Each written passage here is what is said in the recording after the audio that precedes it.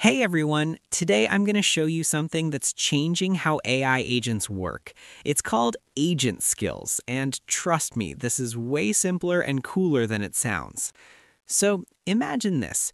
You're working with an AI coding assistant, right? And you want it to do something specific, like process PDF files or build a specific type of app. But the AI doesn't really know your exact workflow. That's where agent skills come in. Let me show you what this is all about. All right, so what exactly are agent skills?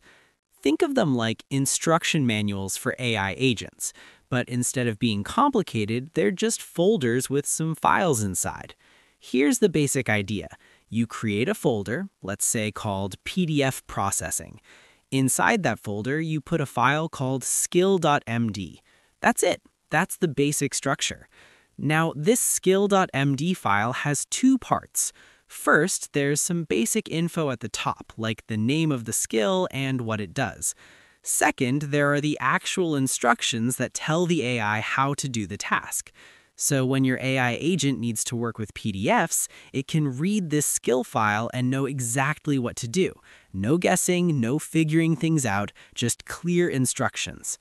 And here's the cool part. These skills work across different AI tools.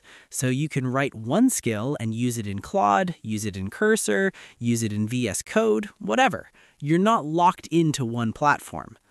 Now, let me explain how this actually works when you're using it. Step 1. When your AI agent starts up, it looks at all the available skills, but it doesn't read everything. It just reads the name and description of each skill. This keeps things fast. Step 2 you ask the AI to do something, like, hey, extract text from this PDF. The AI sees that there's a skill called PDF processing, and the description matches what you need. Step 3. Now the AI reads the full instructions from that skill. It loads the skill.md file into its context and follows the steps.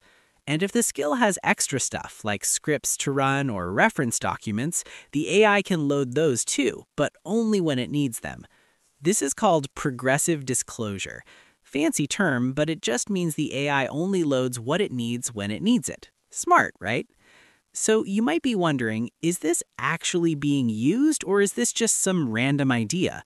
Well, a bunch of major AI tools already support agent skills. First up, Claude and Claude Code from Anthropic. Claude Code is their command line tool for coding tasks, and it supports skills out of the box. Then you've got Cursor. If you're into coding, you probably know Cursor. It's that AI-powered code editor that everyone's talking about. They support agent skills. GitHub is on board too. Makes sense, right? GitHub is all about developers and AI tools now. VS Code, Microsoft's code editor, also supports this format. There's also tools like Goose, Letta, AMP, OpenCode, Gemini CLI, and Factory, all of these are using the same agent skills format. The reason this matters is that you can create a skill once and it works across all these platforms. You're not writing different instructions for each tool. One format, many tools. That's the power of an open standard. All right, so how do you actually create a skill? Let me explain it in a very simple way. Here, I created an API design skill focused on building well-structured REST APIs in Next.js.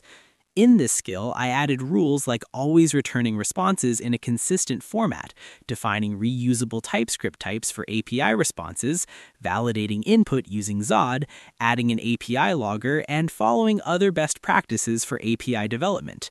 Because of this, our AI agent automatically applies all these rules whenever it creates a new API.